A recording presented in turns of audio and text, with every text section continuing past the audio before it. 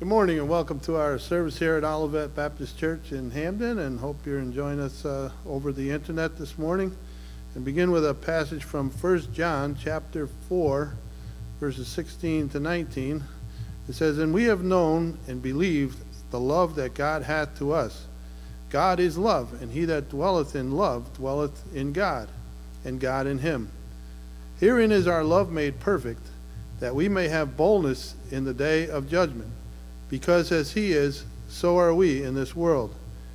There is no fear in love, but perfect love casteth out fear. Because fear hath torment. He that feareth is not made perfect in love.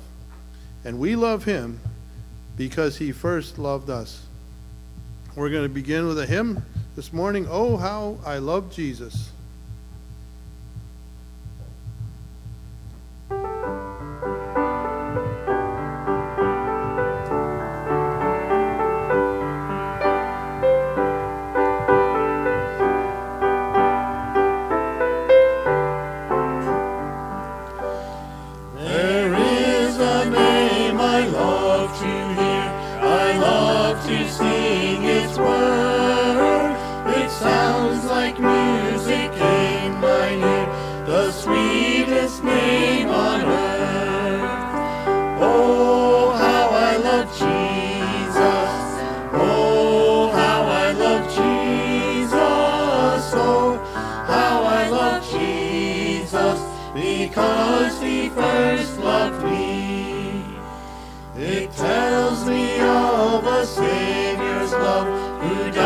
to set me free.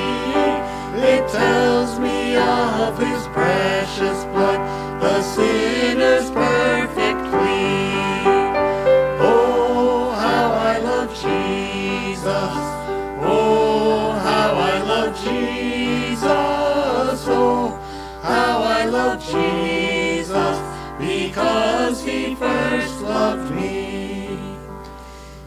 tells me what my Father hath in store for him.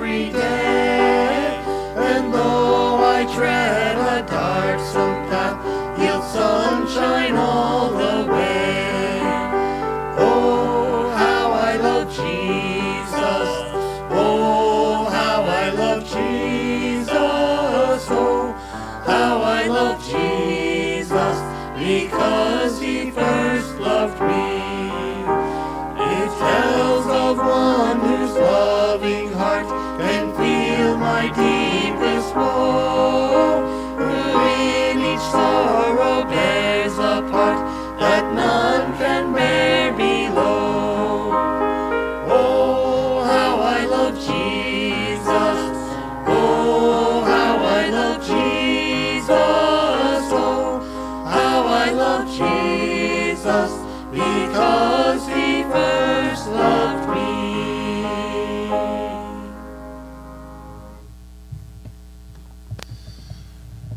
Gracious God, we give you thanks this morning for the great love that you have for us, and we know that you demonstrate it by sending Jesus, our Savior, to be uh, made into a man and come to life and live on earth and demonstrate love for us and to uh, lay down his life and be raised from the dead that we might be free and set free. So we give you thanks for all that this morning, and we give you praise and honor and glory and ask that you'd be glorified even in the midst of all this that's going on in our world today. In Jesus' name, amen. Normally we'd have a meet and greet time. We'd just listen to Susanna play the piano at this time. And uh, if you get a chance, take out your directory and maybe send someone a text or, or give them a call and uh, greet one another by way of uh, technology in these days that we have. So enjoy Susanna for a few moments.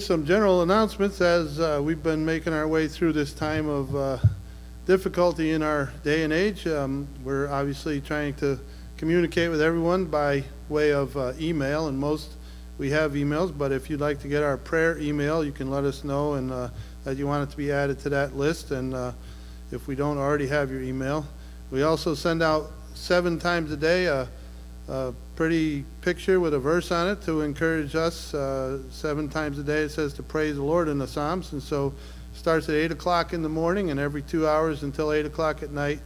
Uh, it's an encouraging text. If you'd like to get that and you have a cell phone that receives picture text, you can let us know and we can add you to that list as well. Normally, uh, we greet uh, those that have a birthday, and so Jocelyn Lynn has a birthday on March 22nd, so we pray uh, for her and uh, just that uh, give her a card or give her a call. Or I think she might still be away for a little while, but nonetheless, think of Jocelyn. And uh, we do normally have the daily breads uh, available. There's one, the large print one will start on April 1st. If you'd like to get that, let us know and we can get you a copy of that. The regular small one was in March. If you need one of those, let us know as well. So if you need anything, uh, give us, uh, let us know by email or by a phone call or whatever way works best for you, and we'll see what we can do. So um, normally uh, we would take a tithe and offering at this point, and uh, so you'll be able to listen to Susanna play a little bit. And uh, right now, the mail is still working. So if you'd like to send in a check, you can. Uh, we do check the mail regularly. So if you'd like to send in a, a check to the church, then uh, we can take care of it that way. Uh, if it's a hardship, let us know if you have need of anything. And so uh, we just pray that everything would go well through these days of difficulty. God is not surprised by anything, and He loves us with an everlasting love. So now enjoy Susanna as she plays an offering.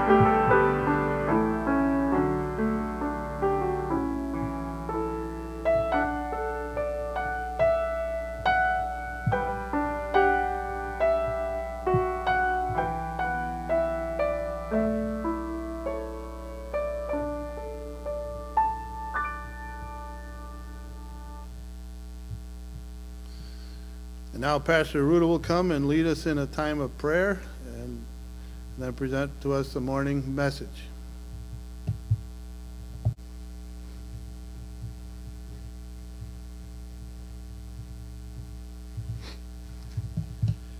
God bless you.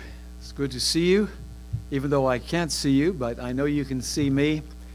I'm going to share from the Word of God uh, a message that will bring instruction comfort and direction, especially during times like these. Let's pray. Father, we thank you for your truth. We thank you for your word, that you are the God who is there. You are working, you are active, you love us. And Lord, we just commit this whole situation into your hands. We know you cause all things to work together for good to those who love you. And Lord, we know you're working this even in our lives.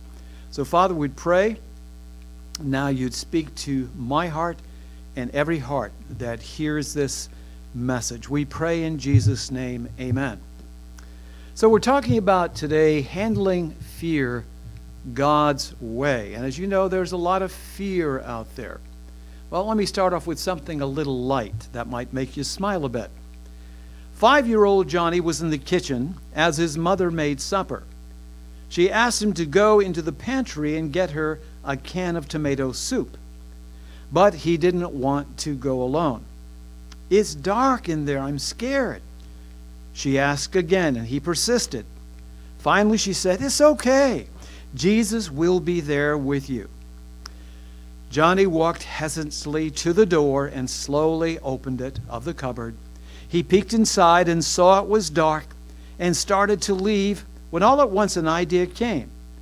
He said, Jesus, if you're in there, would you hand me a can of tomato soup? Well, perhaps we don't need to do that right now, but fear is real indeed.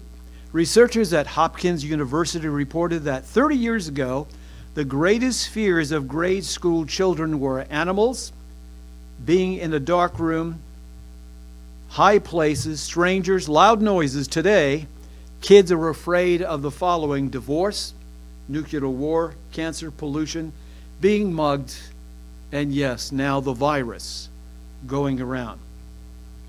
So there is legitimate fear out there and reason to be concerned.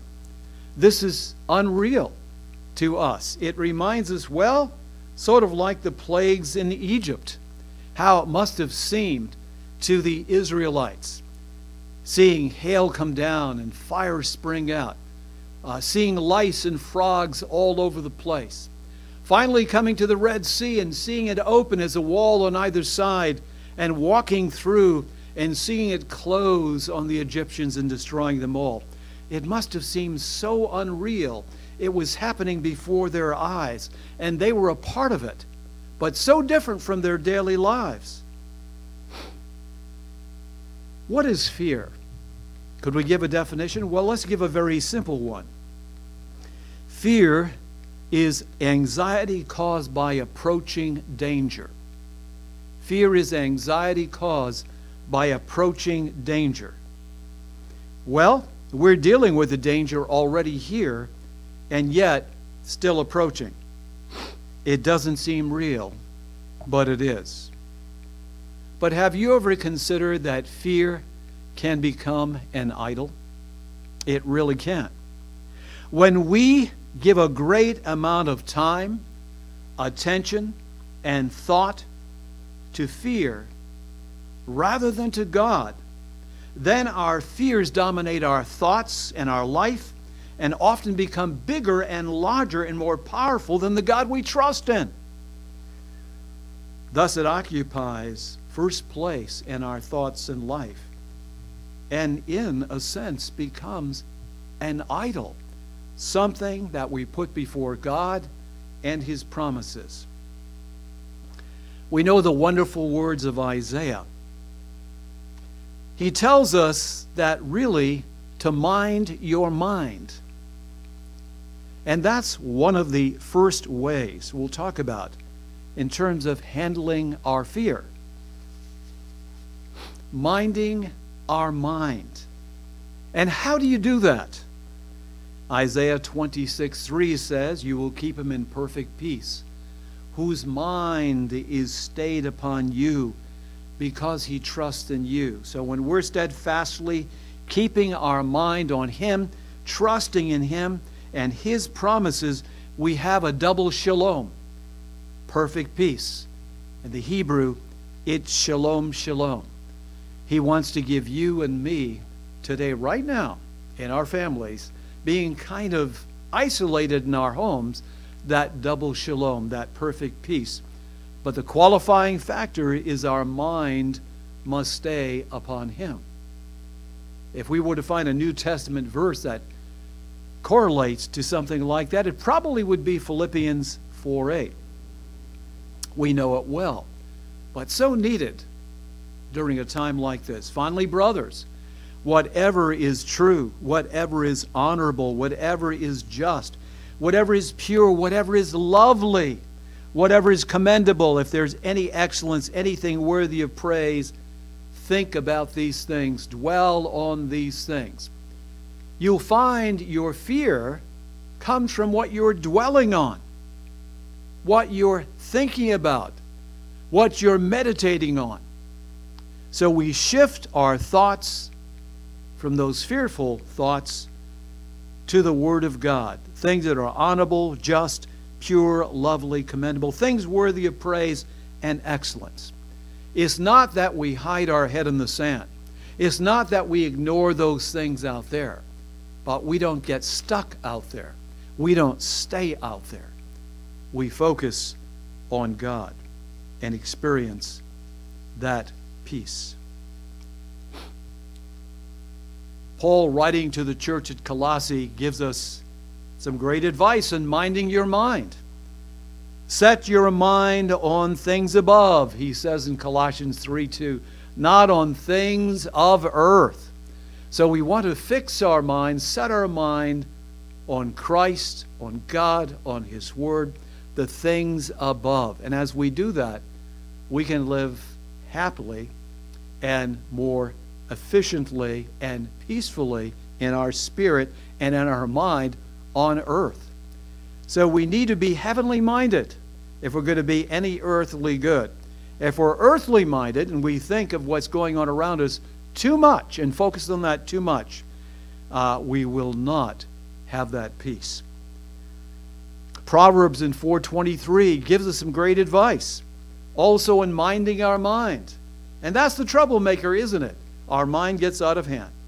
He says in 423, and you might want to jot down these verses and go over them, maybe write them out, remind yourself about them, because they're so very helpful and they'll help us throughout the week. It says, Watch over your heart with all diligence. Keep your heart with all diligence, for from it are the springs of life. Know what's going on. What am I thinking? Am I minding my mind? What's going on there? Am I fearful? Am I doubting? Or am I trusting? Am I believing? Am I resting? Know what's going on in your mind. So, one of the things we can do to manage uh, our thoughts is to mind our mind, manage our fear, to mind our mind. And then the promise. God gives us many promises. Believing his promises that God keeps his promise. Remember Jacob and Esau. Well, Esau was very mad because he accused Jacob of stealing his blessing and his birthright. And we know Jacob had to flee. Jacob had to flee for his life. But many years later, Jacob was going to come back to his homeland. But Jacob had a concern because as he was on his way back, his brother was coming to meet him. And that wasn't the bad thing. He did want to meet his brother, but his brother had 400 men with him. And he thought, oh no, my brother's going to kill me for sure. He's still bearing the grudge. He's still angry about me stealing his birthright and his blessing. But here's the thing God promised Esau. He promised him, if you go back, I will bless you. If you go back, I will do well with you. So here was a situation. He had the promise of God to go back, expecting God to bless him, but yet he had heard that his brother was coming to meet him with 400 men. Why so many men? If he wasn't going to hurt me, if he was going to do me damage. Matter of fact, in verse 9 of Genesis 32, he cites the promise of God. He said, Oh God, the God of my father Abraham, of Isaac, O Lord, who, who said to me, Lord, you said it to me, return to your country and to your relatives, and I will prosper you. I am unworthy of all your loving kindness. And then he said he was very fearful. Verse 11 Deliver me, I pray, from the hand of my brother, from the hand of Esau, for I fear him that he will come and attack me and the mothers and the children. And then again, he reminded God of his promise. For you said to me, I will surely prosper you and make your descendants as the sand of the sea, which is too great to be numbered. So you see, Jacob was going between the promise of God and what he saw. God did promise he would prosper him, but he figured, hey, man, if my brother's coming with 400 guys, he's coming to wipe us out. He still hasn't forgiven me. But yet God said he would prosper me. He told me to go back. And dear friends, we have the same challenge today. We look around what's happening and we hear God's promise that He's going to take care of us, that He's going to be with us. that He'll bring us through this. And yet, we hear on the news and look around, we say, I don't know. It doesn't seem like it's going to happen. So we have a choice. Am I going to believe the promises of God or my own feelings, my own judgment, my own self, what I'm hearing? Remember, we're told to trust in the Lord with all our heart and lean not to our own understanding. Well, finally, he met up with his brother.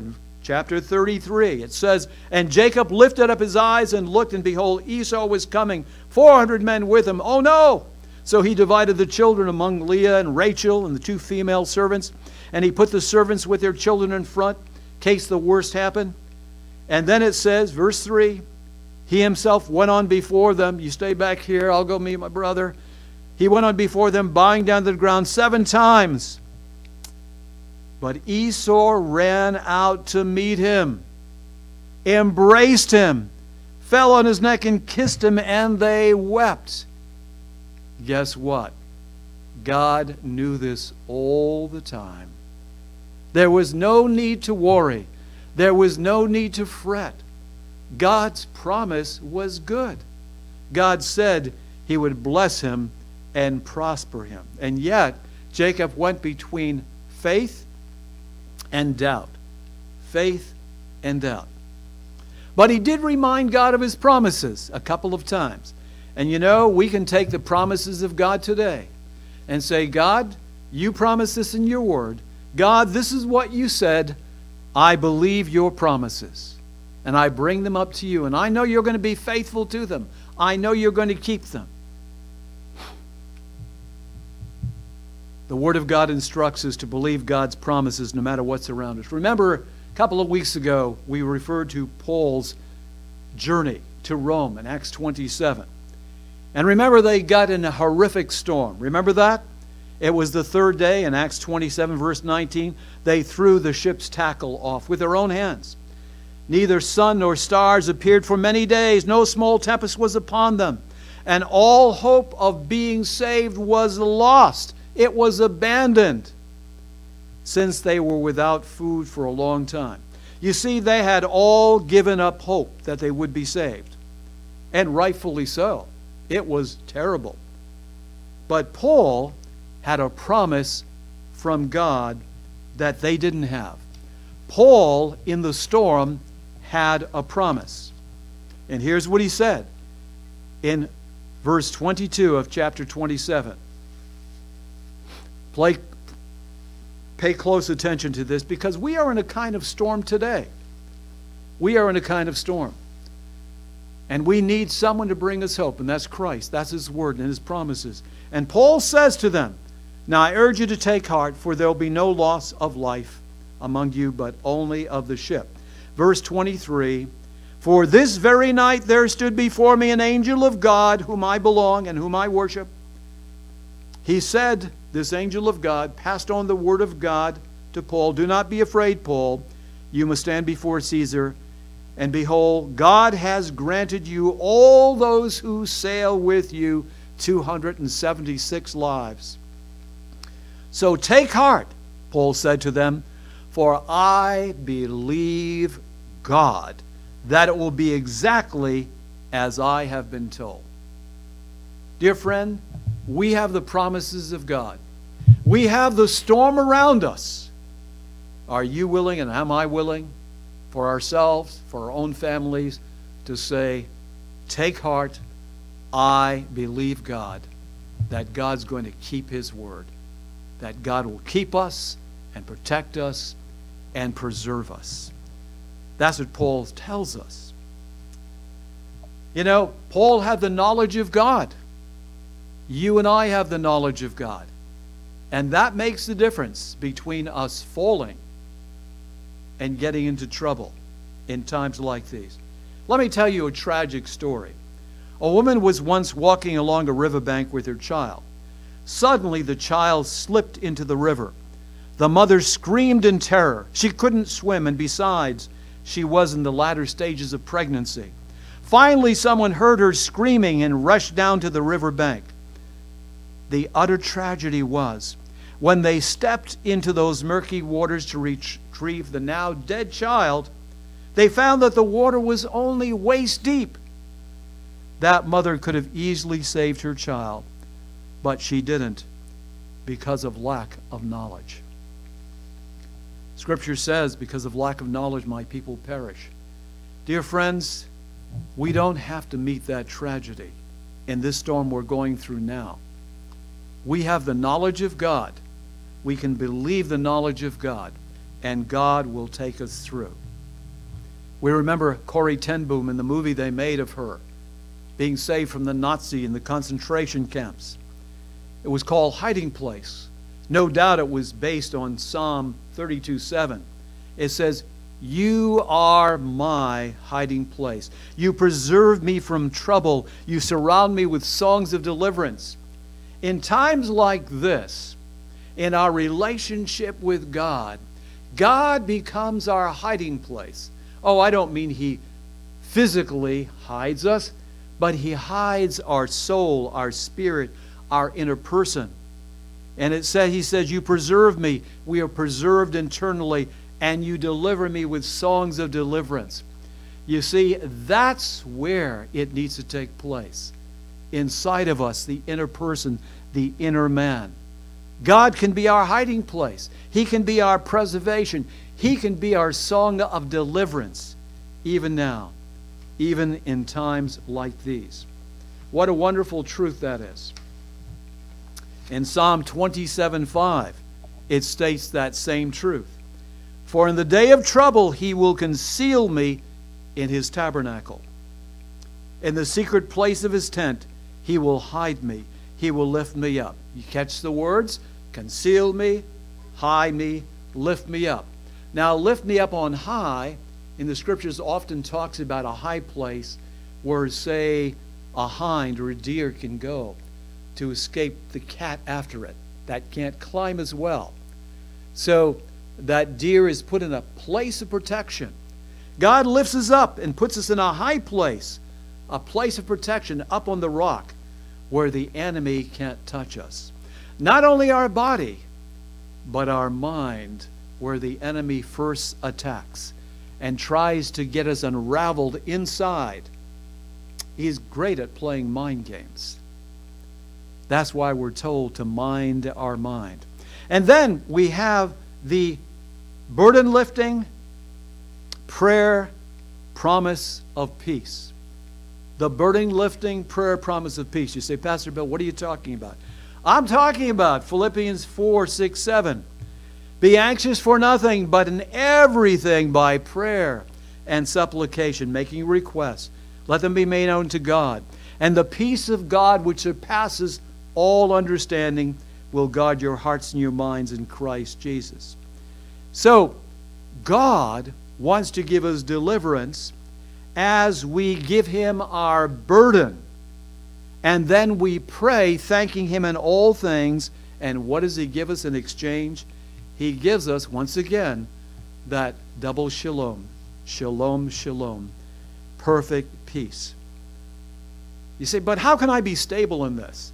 You know, people are panicking. I'm watching TV. I'm hearing this stuff on the radio, reading in the newspaper. I'm reading it on my computer.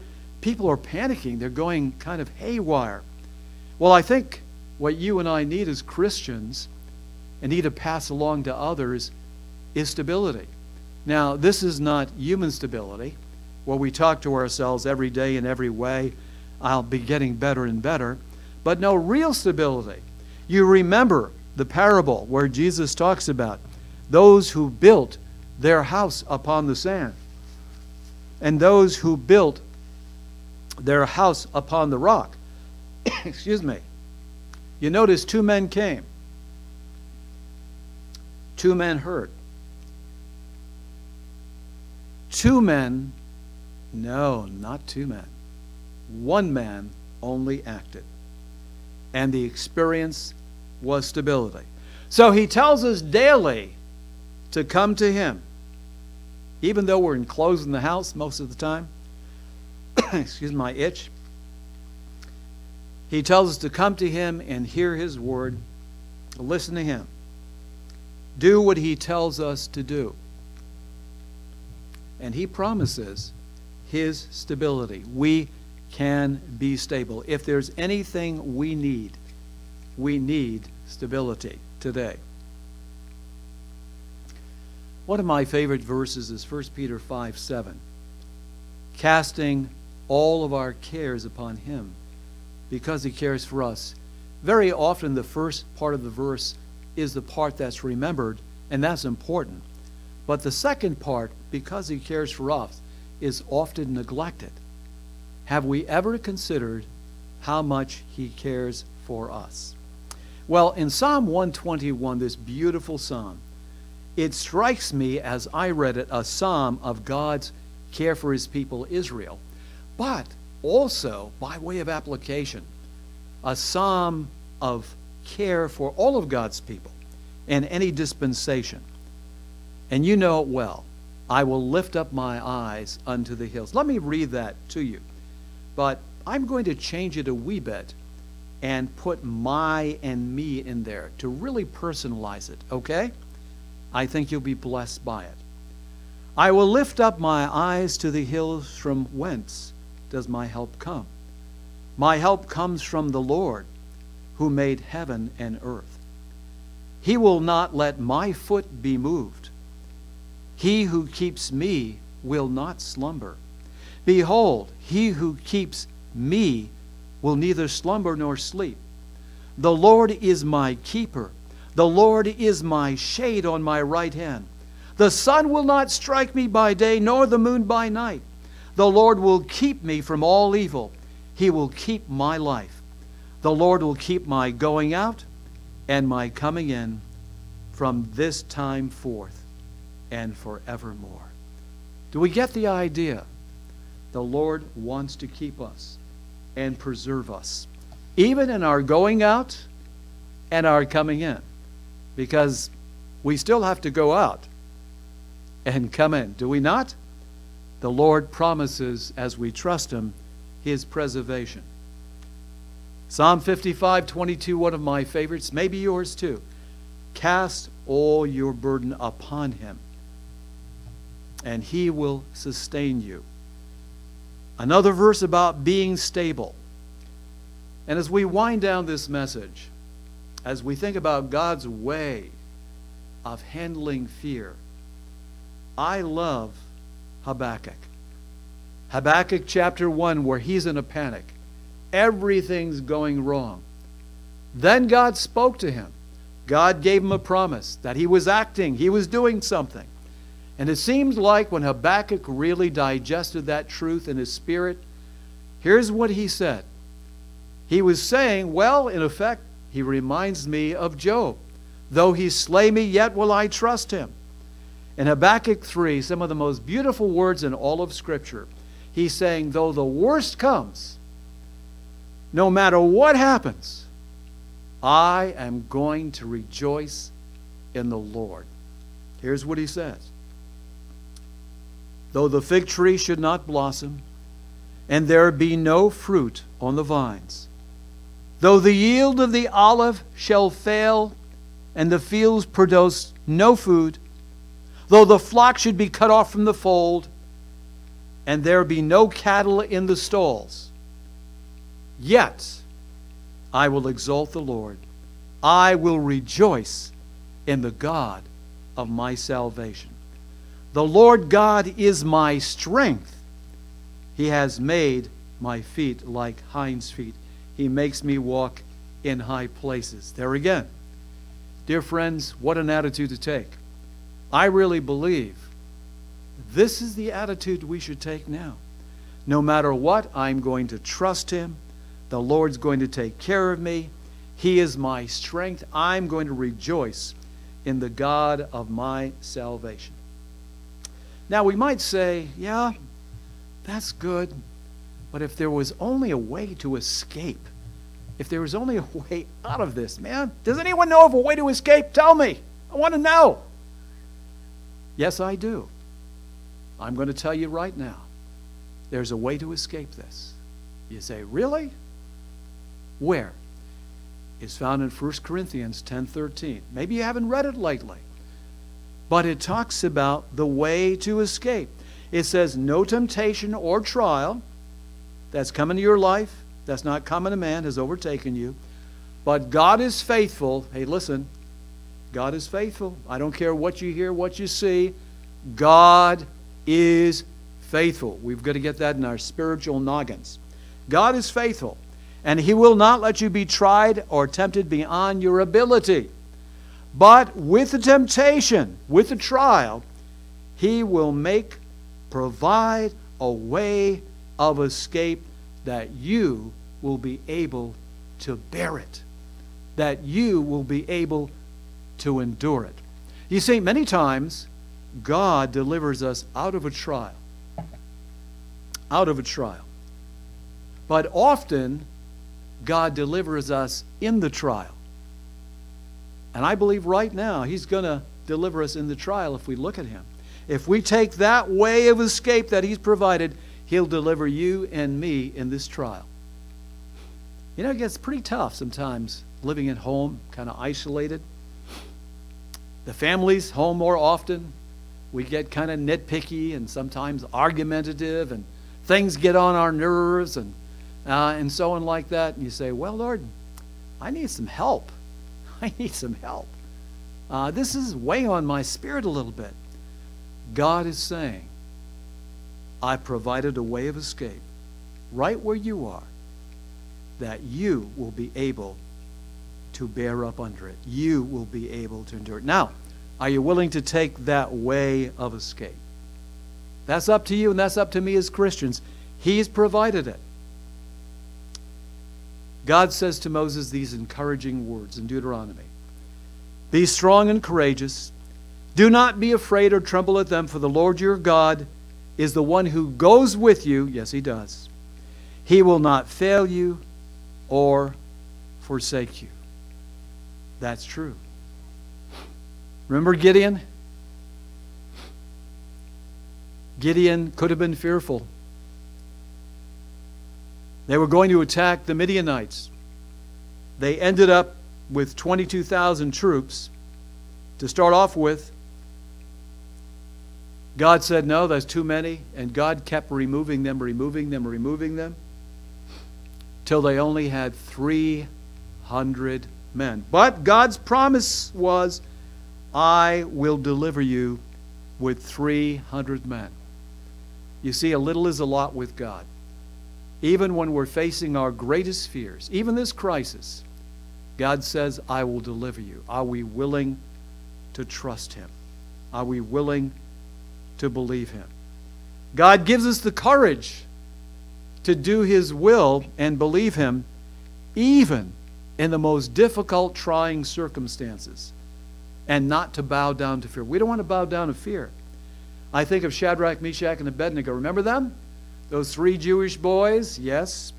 Remember when Nebuchadnezzar set up that big, big idol in the plain of Dura, that big statue? He said, Everyone bows down. You don't bow down, you go in the furnace, your goose is cooked.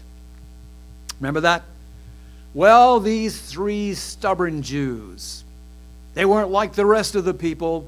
They decided not to bow down. Well, old King Neb found out about it. He said, Bring him to me. And they brought him to Nebuchadnezzar. And he said, Maybe you didn't get this right. Maybe you didn't understand. You know, that happens. But I gave an order. At the sound of all of these musical instruments, when you hear them, you are to bow down. If you don't, you're going to be thrown into the furnace. Did you get that? Well, listen how they answered King Nebuchadnezzar. They said, If it be so, our God, whom we serve, is able to deliver us from the blazing fire. But he will deliver us out of your hands. But even if he does not, let it be known to you, King, we are not going to serve your gods and worship the image you have set up. You see, the great fear, the great plague, the great virus, if you want to put it that way, was the fiery furnace in King Nebuchadnezzar. And they refused to bow down to that fear. They refused to give credence to that fear by worshiping it, by giving into it. They said, We will not bow down to you. And we have to take that same determination. We will not bow down to our fears. We know what happens. They were thrown into the fiery furnace, right? And they were finally delivered. Isaiah says this When you pass through the waters, I will be with you. When you go through the rivers, they shall not overwhelm you. When you walk through the fire, as they did, you will not be burned, and the flame shall not consume you. Why is that? He says, For I am the Lord your God. You are precious in my eyes and honored. Fear not, I am with you. Dear friends, the Bible tells us to fix our eyes on Jesus. Fix our eyes on Jesus because we're running a race. Do you think just because of this we're not running the race any longer? You think we've been put aside? We've got to stop till this clears up? Not at all. We are running the race right now that God has set before us. It hasn't stopped. So we don't want to let anything weigh us down or the sin, sin that so easily entangles us to stop us, and I suspect that would be fear. No, we're to throw them all aside and run the race that He set before us. And how do we do that? By looking unto Jesus, by fixing our eyes on Jesus and running that race that is set before us. General George Patton in Sicily. He was praised for his courage and bravery. The general replied, he said, Sir, I am not a brave man. The truth is, I am an utter craven coward. I have never been within the sound of gunshot or in the sight of battle my whole life when I wasn't so scared that there was sweat in the palms of my hands. Years later, when Patton's autobiography was published, it contained the significant statement by the general I've learned at a very early age in my life never to take counsel of my fears. Never to take counsel of my fears. Dear friends, let's not take counsel of our fears. Let's not listen to them. Let's listen to God's Word. Let's listen to the Lord Jesus Christ. Dr. E. Stanley Jones, great missionary of old, says, I am inwardly fashioned for faith, not for fear. Fear is not my native land, faith is. I am so made that worry and anxiety are sand in the machinery of life. Faith is the oil. I live better by faith and confidence than by fear, doubt, and anxiety. In anxiety, worry,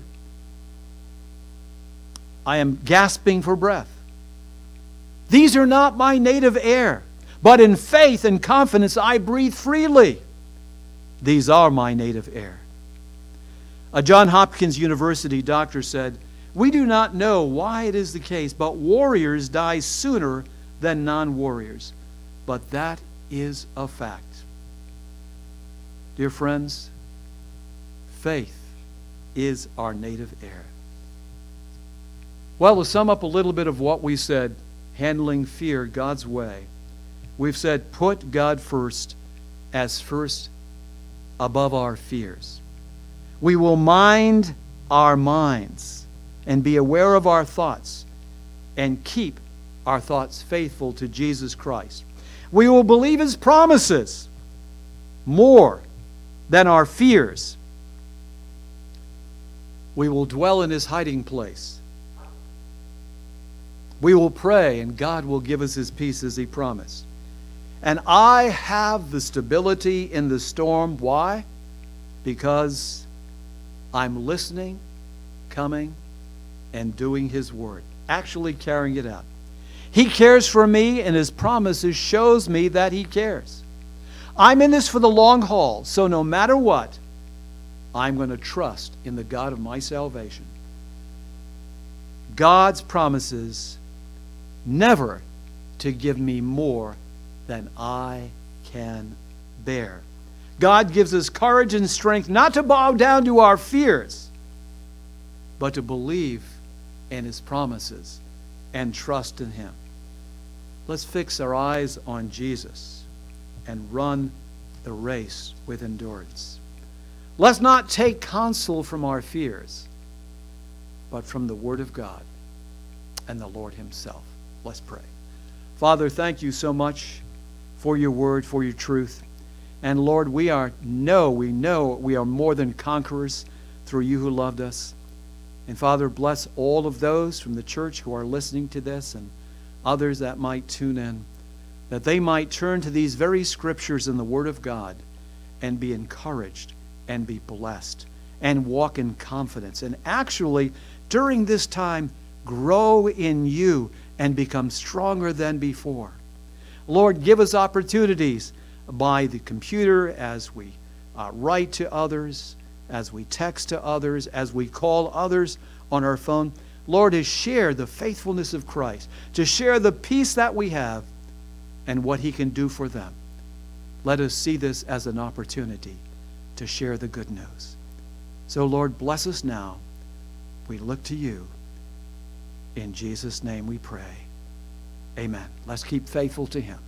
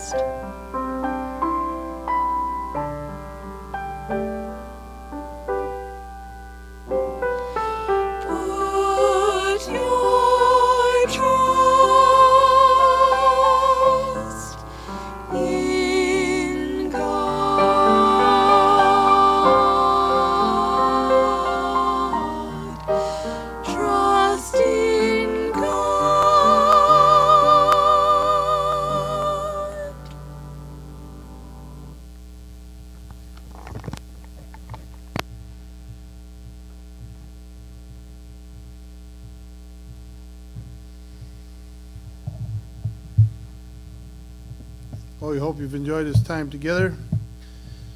And now may the God of peace, who brought up from the dead the great shepherd of the sheep, through the blood of the eternal covenant, even Jesus our Lord, equip you in every good thing to do his will, working in us that which is pleasing in his sight, through Jesus Christ, to whom be the glory forever and ever.